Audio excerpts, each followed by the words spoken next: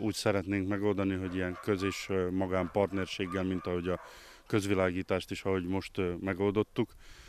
Az lenne a konstrukció lényege, hogy négy éven belül a partner, tehát a kivitelező az összes utat kiaszfaltozná, az önkormányzat pedig mintegy hitelszerűen a megbeszélt kifutási idő alatt, hogy az most 5 vagy 10 év az a megbeszélés tárgyát képezi, törleszti ezt, ezt a, az összeget.